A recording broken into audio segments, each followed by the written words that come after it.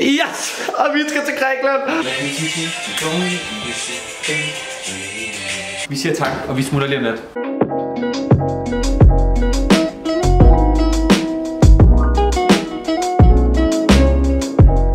Godmorgen folkens, og velkommen til endnu en video. Jeg føler seriøst, at det har været flere år siden, ej det er det ikke engang, men siden jeg sidst har lavet en video, øh, så nu er vi jo tilbage på kæden, på gangen, på vejen, hvad end man siger. Men øh, til at starte med har jeg det fandme ikke særlig rart, fordi at, øh, der har sgu været en del komplikationer. Min rigtig gode veninde, som skulle være med på turen, har fået corona, hvilket så også har gjort, at så var mit øje er gået helt øh, har gjort, at jeg også har været i isolation og ikke rigtig vidst, hvorvidt at øh, jeg skulle med eller ej, og det fandt jeg så ud af i går aftes, hvilket jo øh, er det surrealistisk det hele. Så på den ene side er det rart, det der med at komme væk, men på den anden side er det ikke så fedt ikke at komme afsted med dem, man rigtig skulle afsted med. Jeg har sgu også lige lavet en lille video af, af mig, der reagerer i går øh, på coronatesten, hvilket måske er lidt overfladisk, men øh, den kan I lige få lov til øh, at se. Yes! Og vi skal til Grækenland! Ej, ej, ej, ej, ej, ej. Ikke påvist, det betyder, at man ikke har corona. Are you serious? Jeg skal til Grækenland. Nå, tillykke, bitch. Wow, er det det eneste, jeg får, eller hvad?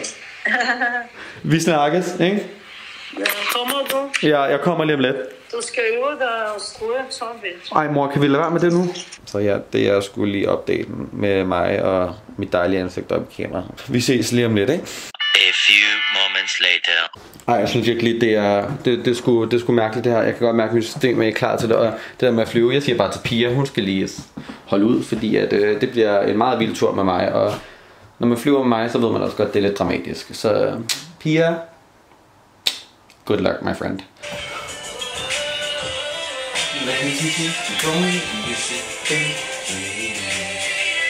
Two hours later.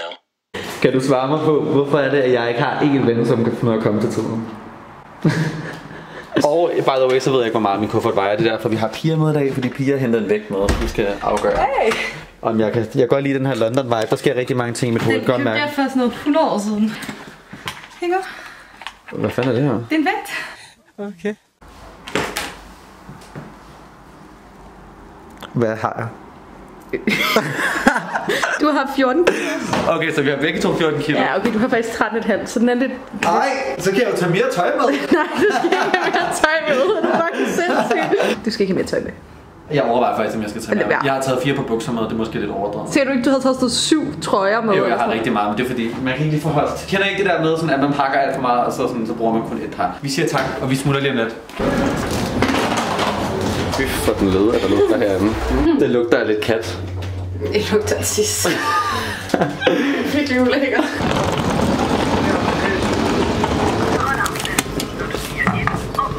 Lufthavnen.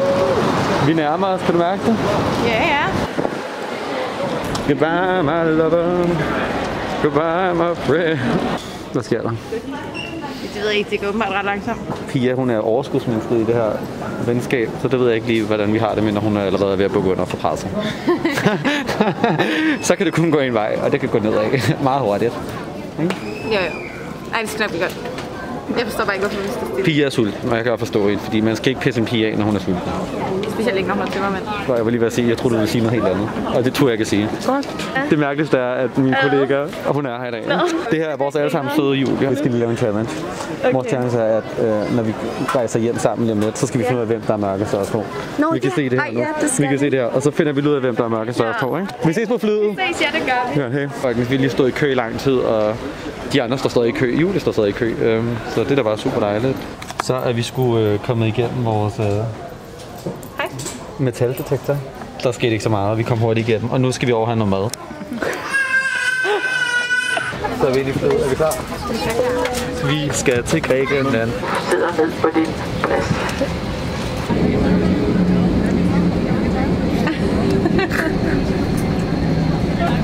Jeg kan ikke være i mig selv, jeg tisser i bukserne om lidt. Hvad sker det?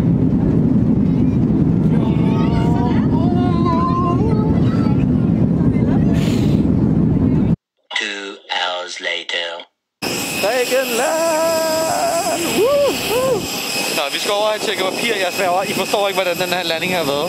I skulle have været der. Seriøst, det føles som om, at den der flyvemaskine, den sådan der fløj forover. Folk, vi venter på vores bagage, og jeg ved ikke lige helt, hvad det er, der foregår her. Men øh, på en eller anden tidspunkt, så kommer den kraftigt. Mig og Pia, vi snakker om, hvem der vil få sin kuffert først. Ej, det er det. God tur. Tak, i lige måde. Kom til far, kom til far. Jeg håber, der er en hel kuffert, du skal igen. Jeg har lige fået skældt ud af en busmand, fordi at vi må bare ikke selv putte vores bagage hen. Og det var Pias skyld, fordi hun sagde, skulle. Og nu har lige mast min fucking bagage. Jeg føler mig som en græsk i dag. Okay. Vi har kørt i nu øh, mere end en halv time, ikke? Og vi har det fået- tager cirka en time at komme til Pakke. Ja, og jeg tror, at vi har fundet ud af, at turguiden hedder Jakob. Vi er ikke helt sikre, men øh, han Vi er ved givet... faktisk overhovedet ikke, hvad han hedder. Nej, vi... Han kunne også Anders eller Jens. Ja, han er i hvert fald jyde. Øh, så jeg tænker sådan noget Christian Christoffer-typen. Men... Ikke Christian eller Christoffer, det tror jeg simpelthen ikke, hvor. Han ligner ikke en Christian. Nej, okay. Men jeg føler virkelig, at øh, Parda øh, er... Pakke. Jeg føler virkelig, at Parka er opskriften for... Parda. Parda. er, opskri- er, nej, nej, er opskriften for, sådan, for en dårlig kombi for mig, fordi at det var bare en del af, af rigtig små gader, og jeg, mine navigationsevner, de er lige med nul. Så hvis Pia sætter mig et sted hen alene, så ved jeg godt, så kommer jeg ikke hjem. Vores øh, minibus kan ikke tage os længere end øh, her, så nu er vi på vej til at gå hen mod øh, vores hotel. Altania der. Altana. Øh, Altana. Du skal tænke på en altan. Nå, vi, skal, vi skal til Altana nu, og ej, det er, det er virkelig hyggeligt. Jeg synes, at, øh, at hvad hedder det, nu hvor jeg ikke har været så meget en del af de her planlægninger, fordi jeg er jo bare typen, der tager med, og så regner jeg lidt med, at alt andet er styr på. Så jeg synes, det er gave til Pia, og til Nana for den sags skyld også, Ja. for at, hvad hedder det, at de har fundet det her virkelig øh, fede sted. Så ej, folk de tænker, at jeg er psykisk syg. Men det er jeg også, så længere er det en konklusion, ikke?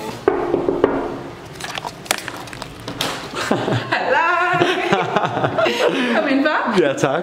Det føler, jeg føler, at vi er der, hvad, det, der, det der program, jeg ved ikke, om til middag hos, eller hvad det hedder. Ja.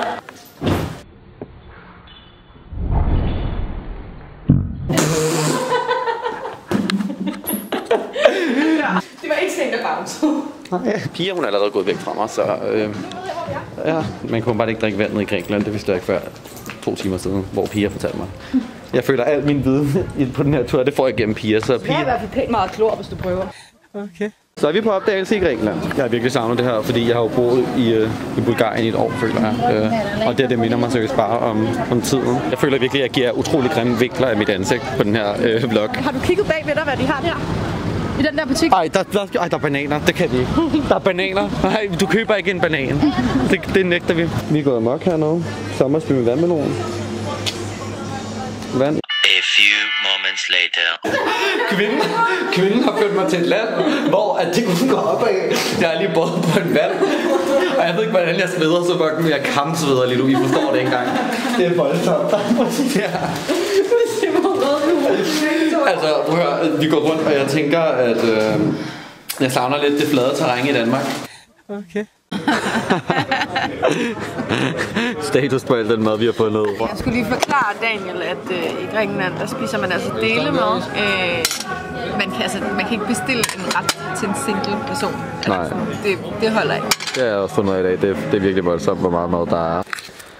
Så er vi tilbage fra, fra aftensmad, day one. Vi skal til at øh, lægge vores ting ind i skabet og sådan noget. Så jeg tænker, at vi kalder det for i dag, og så ses vi til en ny dag i morgen, hvor Pia skal lave morgenmad. Godnat, folkens. Vi er tilbage på dag 3. Øh, Der skete rigtig meget i går, og det der er med Grækenland, det er, at øh, på vores hotel, så har vi sådan nogle stik, der gør, at hvad hedder det, man kan oplade. Kan du lige forklare det, fordi jeg synes, jeg er totalt dårlig til det. Altså, Okay, altså det er bare, stikkontakten skal have et, et, en flad overflade, for ellers så kan man ikke sætte den i. Og det har de jo bare Og ikke de er alle sammen med fordybninger. Øh, Ej, hvilket det er det ord, jeg har let efter i de sidste par dage. Jeg har bare sagt, den var bare rundt, og ned, den var bare langt ned. Fordybninger. Den har fordybninger. Og så har vi været i en Elgiganten, som er ikke en Elgiganten, sådan lidt Alibaba-kiosken, øh, som havde den. Og, Men han var cool. Ja, og vores søde naboer. Vi har virkelig, virkelig søde naboer. De hjælper os med at oplade dem. Men øh, vi er her på dag 3 nu, og vi er glade, fordi jeg kan få lov til at filme igen. Og det ved jeg, at Pia er virkelig glad for. Hun har siddet og grædt over, at jeg kunne filme i går. Ja, Øh, har jeg det. vil du lige- Ej, jeg er faktisk super ked af, at vi ikke har kunnet filme vores lækre morgenmad. Det glæder mig Pia, til, hun har været masterchef, eller al dente, eller hvis man siger det. Men Øhm, en lille oprids, at vi gjorde i går. Sådan, jeg står bare, yes. Øh, går, Okay. men øh, i går, så, hvad hedder det, så var vi øh, på rundtur med vores guide Philip. Og øh, udover det, hvad lavede vi i går? Øh, vi var nede og købe badedyr, så opkalder. har vi øh, Efter. booket øh, to ture. Den ene af dem skal vi på nu. Øh, derfor har vi stået tidligere op igen i dag, og vi gik heller ikke sådan vildt sent i seng i går. Nej. Øh, så har vi spist rigtig mange små måltider, fordi vi har fundet ud af, at i Grækenland, der, øh, der deler man sgu maden. Men øh, vi er på vej over, fordi vi har booket billetter til vores første tur i dag, som er til sådan en øh, kaptajn... Øh, Vi skal til Antipaxos, Paxos, og køre... Nej, ikke Kaptajn Kro. Vi skal sejle på Kaptajn Hook, som er et stort rødt skib. You want me, I want you baby. My sugar boo. I'm levitating. Nå ja, by the way, vi skal faktisk på tur med en af Pias rigtig øh, gode bar-kollegaer veninder. Er det Ja. hun hedder? Øh, hende og hendes kæreste, forlovede, øh, jeg ved ikke helt, hvad titlen er. Øh, de er også med på den her tur. De, det er sjovt, at de faktisk bor på samme hotel som os. Og det, De bor ved siden af os. Ja, og vi har et hotel, der er legit seks værelser. Ja. Så jeg ved ikke helt, hvordan chancen, eller hvordan fanden det hele det skete. Men øh, de er også på turen, så vi regner lidt med, at vi måske også skal hænge ud med dem, fordi at, øh, det, er lidt, øh, det er lidt vildt det hele. Vikings, det lykkedes. Jeg har fået kamerastand på, og jeg er på et båd. Jeg, jeg ved ikke lige, hvordan jeg har det. Det er lidt ambivalent det hele. Fordi at... Øh, det er en dejlig vinkel at se mig fra det her, er det ikke det? Ja, det er vibes. Jeg er blevet nødt til at dække mig selv ind. Jeg har også taget en flaske rundt omkring min hals, fordi at, øh, heden har ramt mig, om jeg ikke bliver brun, når jeg kommer hjem til Danmark. Jeg slår Julies rekord, og det kan jeg love dig for. Når jeg ser Julie i lufthavn på mandag, så ved jeg, I won. Ej, ej, kaptajn. Hvad er det, man siger på, øh, på skibets jeg kan. No! God, please, no! No! Okay, folk. Jeg ved ikke, hvad der er sket. Det her det er et breaking point i mit liv. Ærligt talt, jeg har lige hoppet ned i en pool. Altså, eller i havet. Fordi at, øh, man blev tvunget til det. Man kunne ikke bare gå ned i en stige. Så øh, Pia har lært mig at svømme. Jeg har under vandet. Jeg har lært at trække vejret. Altså, hvad, hvad, er det nu, jeg mener? Det der med at kunne ligge fladt. Hvad er det, det hedder? Flyde. Flyde. Jeg har lært at flyde. Og ved du, hvad jeg har fundet? Jeg har taget to souvenirer med, fordi jeg føler, at det her det skal repræsentere pakke. Min gode side og min dårlige side. Er der ferie.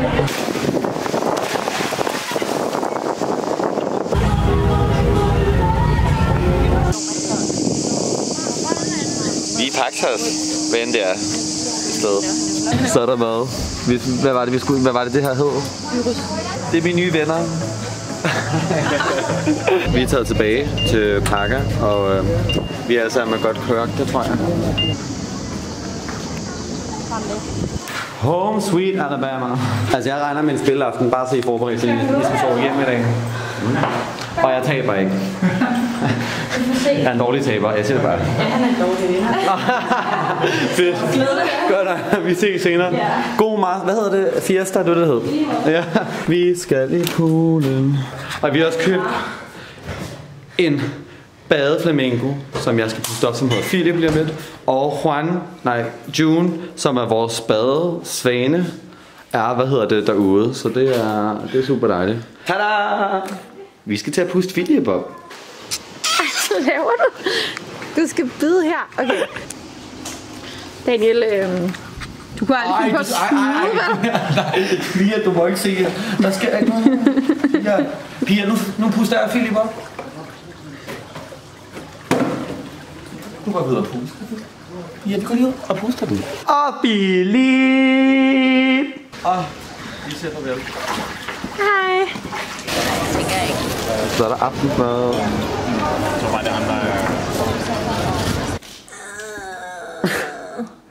Det var meningen, vi skulle lave en afslutning for i dag. Ja, nu jeg bare lige overføre dit. Ja, men kan vi gøre det nu? Hallo? Åh, hej. hej. Hvad er det, vi skal sige til dem? Hvad har vi lavet i dag? Vi har drukket drinks. Det har været så hyggeligt, ikke? Og jeg har lært dem at spille Love Letter rigtigt nu. Og så er det faktisk på tide, at vi skal til at gå i seng. Klokken har været mange, og vi har været ude hele dagen i dag. Men tak fordi I fulgte med i dag. Vi ses i morgen. Hey. Hey!